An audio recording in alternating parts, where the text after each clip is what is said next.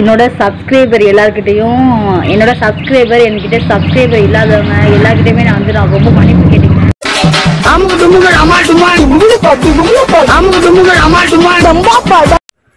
இந்த காகா பிரியாணி சேனல் ஆரம்பிச்ச காலத்துல இருந்தே சரிங்க. இந்த திவ்யாவை சும்மா செரிக்க செரிக்க செஞ்சு விடுறது நான் தான் சோ நான் வீடியோ போட்டாலும் சரி திவ்யாவோட ஈரப்பழம்லாம் அப்படியே சும்மா நடங்கும். அமுகு தும்முகள் அமால் டுமால் அமுகு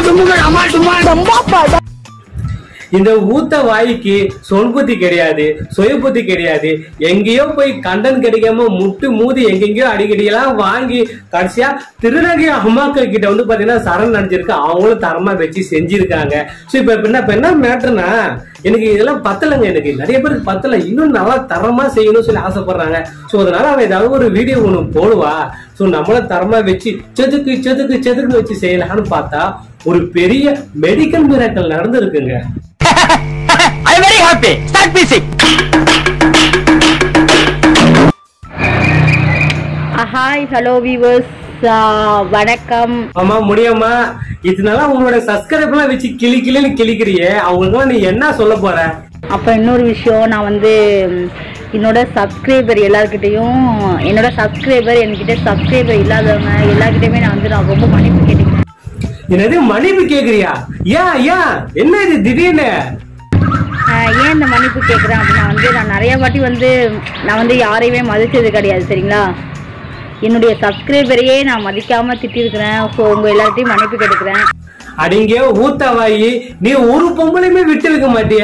என்ன சீனா போடுற நிறைய வாட்டி லேடிஸுங்க எல்லாருமே உங்களையுமே நான் வந்து திட்டிருக்கிறேன்.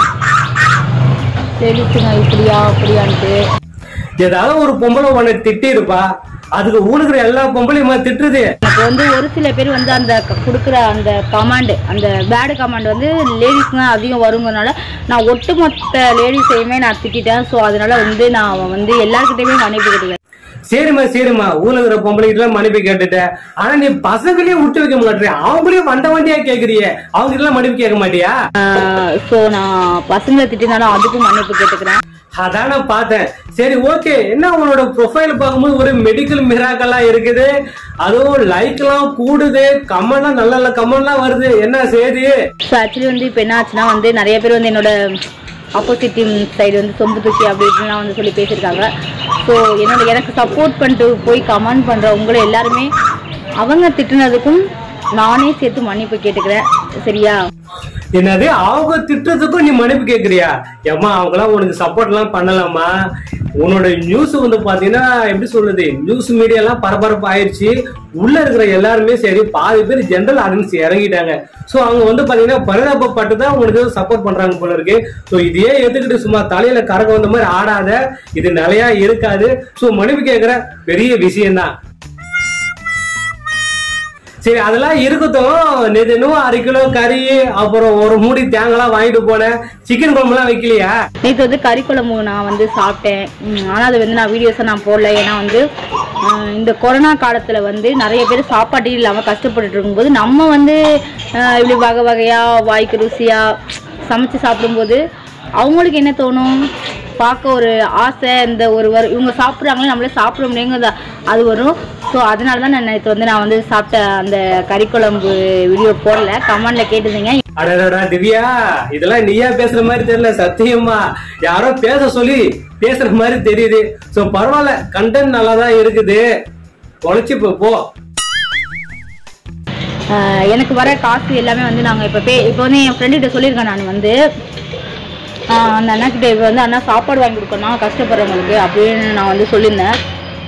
அந்த அண்ணா வரேன்னு சொல்லிருக்காங்க நானும் அவங்களும் சேர்ந்து தான் வந்து ஃபஸ்ட்டு வந்து ஆரம்பிக்கும் போது நம்ம அந்த ரோட்டு ஓரத்தில் இருக்காங்க பார்த்தீங்களா ரோட்டு ஓரத்தில் இல்லாதவங்களுக்கு எனக்கு வர யூடியூப் வருமானத்தில் வர காசு எனக்கு வந்து பிள்ளையும் கிடையாது புருஷனும் கிடையாது எதுவும் கிடையாது. எனக்கு அதனால் ரொம்ப செலவு ஆடம்பர செலவு எனக்கு எனக்கு எந்த செலவும் கிடையாது. ஸோ எல்லா ஆடம்பர செலவையும் குறைச்சிக்கிட்டு அந்த காசை வந்து இல்லாதவங்களுக்கு செய்யலான்ட்டு இருக்கேன்.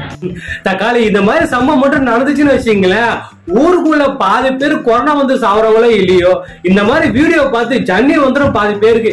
ஏதாவது நடக்கிற கதையை பார்த்து பேசுமா? எம்மா இதெல்லாம் சொல்லும் போது எதால நம்ப முடியல. சோ அது மாதிரி பண்ணா கூட ஒன்றும் பிரச்சனை கிடையாது. நல்லதுதான். ஓகேவா அதுக்கு அடுத்து ஒரு குழந்தை கண் இல்லாதவங்களுக்கு. ஸோ இந்த மாதிரி தான் வந்து நான் வர யூடியூப் வருமானம் இன்னும் வரல. வந்ததுக்கு அப்புறம் நான் செய்வேன் நான் அப்போவே சொல்லியிருக்கேன். ஃபர்ஸ்ட் பேமெண்ட் கோயிலுக்கு இந்த மாதிரி தான் செய்யலான்னு இருக்கேன். ஸோ என்னுடைய லைஃப் வந்து இனிமேல் இப்படி தான் கோயில் இப்படி கஷ்டப்படுற மக்களுக்கு இப்படிதான் செஞ்சேன்னு சொல்லிட்டு நானும் எதிர்பார்த்துட்டு இருக்கேன் ஆனா இந்த மாதிரி சம்பவம் மட்டும் நடந்துச்சுன்னா கன்ஃபார்ம் சரி என் செலவு என் பாக்கெட் மேல ஒரு ஐநூறு ரூபாய் நான் கொடுக்குறேன். உன் மூலியமா நல்லா நடந்துக்கிறேன் அது பாராட்டப்பட்ட விஷயம் தான்ப்பா எப்பா இதுக்கு மேல ஹாலை விட்டுரு. சரி முடியுமா? அந்த திவ்யா கழிச்சிங்கிற அந்த பேரும் வேணாம் எனக்கு ஊரும் வேணாம் ஜாதியும் வேணாம் என் பேரை மாத்த போறேன்னு சொன்னியே. நான் மாத்தவே இல்ல? நிறைய பேர் வந்து கேட்டிருந்தீங்க ஏன் வந்து திவ்யா கள்ளச்சி அப்படிங்கிற அந்த பேர் எடுத்து திவ்யா கார்த்திக் அப்படின்னு வச்சிருந்தேன். அதுக்கு வந்து நிறைய பேர் சொல்றாங்க ஃபர்ஸ்ட் உன்னை விட்டுட்டு போயிட்டான். உன்னை விட்டுட்டு போனவனை பத்தி நீ நினைக்கவே கூடாது ஃபீல் பண்ணவே கூடாது. அதனால அவன் பேர் வேணான்னு சொல்லிட்டாங்க. இந்த பார் சொல்லிட்டேன். ஓவர் உடம்புக்கு ஆகாது. காத்திங்கிறவன் எவனே தெரியல. சரி அப்ப நீ டிக்டாக் திவ்யான்னு வைக்கலாமே. ஏன் வைக்கல? ஸோ டிக்டாக் திவ்யான்னு என்னால் வச்சிருக்க முடியும். ஐடியோட நேமு டிக்டாக் அப்படிங்கிற ஒரு அதர் ஆப் நேம் வந்து இன்னொரு ஆப்பில் நம்ம வந்து யூஸ் பண்ணோம்னா அது எப்படின்னா வந்து அந்த ஆப்புக்கு வந்து நம்ம ப்ரொமோஷன் கொடுக்குற மாதிரி. ஸோ நம்மளோட ஐடி பேன் ஆக வாய்ப்பு உண்டு. போதும் முடியுமா? போதும். வாயெல்லாம் வட சுடுறது போதும். சரி அதெல்லாம் இருக்கட்டும். நேத்துல இருந்து நல்ல நல்ல கமெண்ட் எல்லாம் வருது. இத பத்தி நீ எப்படி ஃபீல் பண்ற? எனக்கு நேத்து நல்ல நல்ல நல்ல கமெண்ட் வந்துச்சு. நான் உங்க கமெண்ட் எல்லாத்துக்குமே ரீப்ளை கொடுத்தேன். ஸோ தயவு செஞ்சு எப்படி சொல்றதுன்னா வந்து பாதி கமெண்ட்டுக்கு வந்து என்னால் ரீப்ளை கொடுக்க முடியல. Very very very very sorry அடங்கப்பா. இது உலக நடிப்புடா சாமி. சாரி பூரின்னு சொல்லிட்டு. சரி அதெல்லாம் இருக்கட்டும். இப்ப ஏதோ ஒரு பொம்பளை எல்லாம் வச்சு இழுத்துக்கிட்டு இருப்ப இப்ப உனக்கு கண்டென்ட்டே இல்லாம போயிடுச்சு. இப்ப கண்டென்ட்டுக்கு என்னமா பண்ண வச்சிடலாம் நீங்க வந்து என்னோட வீடியோ பார்க்குறோங்க. ஒரு வரியில இப்ப எப்படி சொல்றதுன்னா ஒரு நல்ல விஷயத்த பத்தி பேசுவோம் தெரியுமா அது- அப்படிங்கிற மாதிரி ஒரு ஒரு நல்ல விஷயத்த பத்தி கீழே வந்து இந்த விஷயத்த பத்தி பேசுங்க. அப்படின்னு ஒரு டைப் பண்ணி வச்சுட்டு போங்க. ஸோ டைப் பண்ணி நீங்கள் வச்சுட்டு போனீங்கன்னா நான் வந்து அந்த விஷயத்த வந்து நான் வந்து பேசுவேன். மக்களுக்கு வந்து நான் பேசுவேன். நல்ல விஷயத்த பேசுவேன். ஸோ நல்ல விஷயத்த நான் பேசுங்கும்போது நான் நான் பண்ணுற ஒரு சின்ன ஒரு வீடியோஸே வந்து இப்படி உலகம் ஃபுல்லாக இப்படி வைரலாக ஆகுது. அப்படி எல்லாரும் பார்க்குறாங்கும் போது நம்ம நல்ல விஷயத்த பற்றி பேசலாமே. நல்ல விஷயத்த பற்றி பேசினா இன்னும் நாலு பேருக்கு ரீச் கிடைக்கும். ஆக மட்டும் திவ்யாவுக்கு கண்டன் பற்றாக்குறை ஏற்பட்டிருக்குங்க. சொல்லிடுச்சுல கமெண்ட்ல நாலு வார்த்தை போட்டு கொடுங்க அதை பத்தி எல்லாம் வீடியோ போட போதான் அதுவும் நல்ல விஷயத்தெல்லாம் பேச போதா நல்ல விஷயத்த யாரு பேசுறாங்க? கவனிக்கிறா? நானே கேக்குறேன். சோ இது மாதிரி திவ்யா பேசுறோம்னு கவனிக்க போறாங்க. சோ அந்த மாதிரி திவ்யா பேசி ஒரு நல்ல விஷயம் நடந்துச்சுன்னா அதுவும் ஒரு பெருமைப்படக்கூடிய ஒரு விஷயம் தாங்க.